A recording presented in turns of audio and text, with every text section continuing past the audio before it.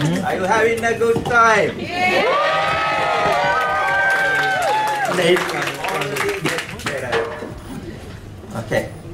First of all, I want to. Yeah. I'm not. I'm an electronic engineer now.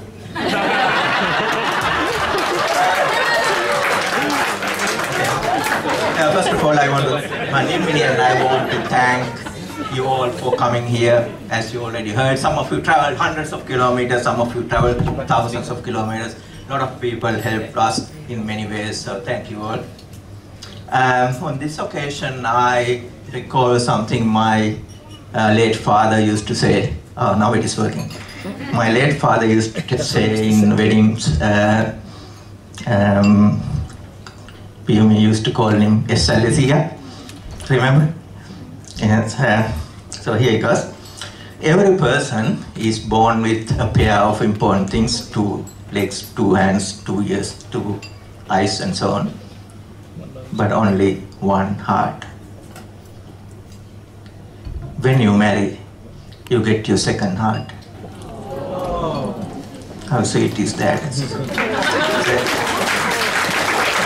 Um, and as you heard in the uh, priest said uh, during the ceremony, it's very important. Um, that is very important uh, to navigate through hurdles in life. Um, so from today, my daughter Piyumi has unlimited eternal access to teach caring heart and vice versa. Atisha has same access to Piyumi's loving heart. But this marriage is lot more than merging two young hearts. Today, we merge two cultures, two tra- traditions, um, two religions. Many communities living all across the world.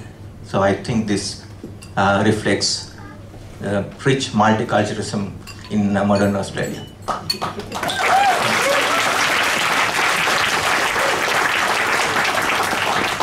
Okay, and, um, as you, some of you have already started yawning. Uh, I was looking carefully, okay, to get caught next time. Um, I will end this uh, with a short poem I wrote about the couple of the night, Atisha and Piyumi. If you remember. Um, it goes like this. Tish met Piyumi and said, I like you.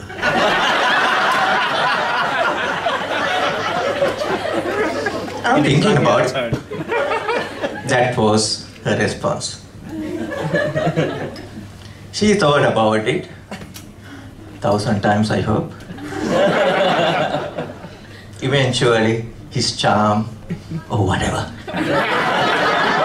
Oh, sorry. Eventually, his charm earned Piyumi's arm. We loved her first, but won't be in the way. Yes? No? yes? Okay, yeah, I'll take it as is. We loved her first, but won't be in the way. Wish these two lovebirds be happy every day.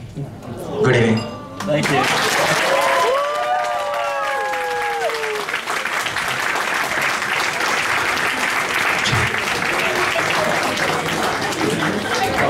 That was wonderful. Thank you so much. Um, now, I would like to welcome Venla, host sister from Finland, who hosts